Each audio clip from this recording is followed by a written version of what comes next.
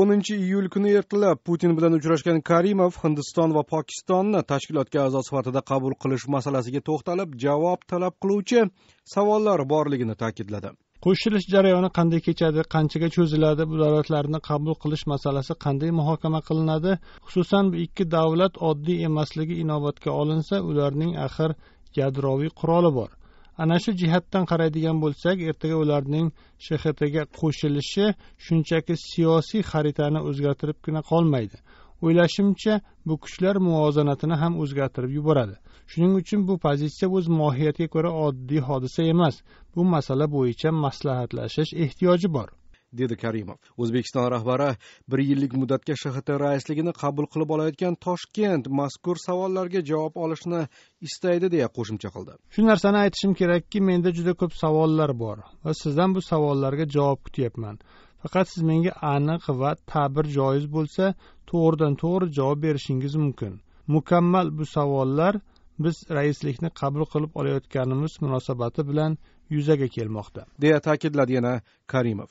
Boshqirdiston poytaxti ufada o'tayotgan shxt sammitida hindiston va pokistonni tashkilotga to'laqonli a'zo sifatida qabul qilish jarayonini boshlash masalasi bo'yicha qaror qabul qilinishi kutilmoqda.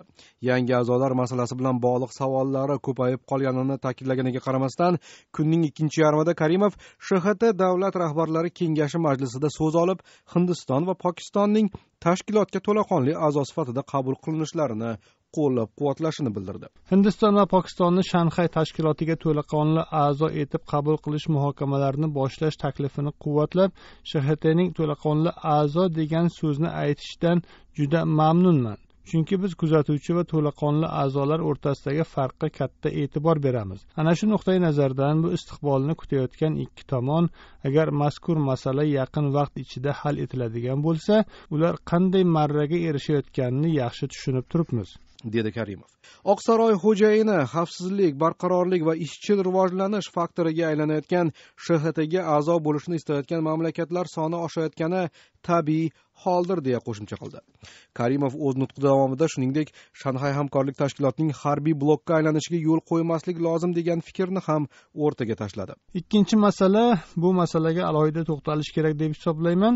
Shxt nizomi hamda barcha asosiy hujjatlarida belgilangan va biz tanlagan o'zgarmas yo'nalish shxt faoliyatining boshqa mamlakatlarga qarshi qaratilmasligini ta'minlovchi yo'nalishni saqlab qolish va yanada mustahkamlashdir boshqacha so'z bilan aytganda oddiy qilib aytganda har qanday blok tuzish g'oyasi hamda shxtning harbiy siyosiy alyansga aylanishini ehtimoldan soqit qilish kerak. O'z vaqtida shxt tuzilishi maqsadlari va prinsiplarini saqlab qolish va ularga sodiqligimizni mustahkamlashimiz kerak.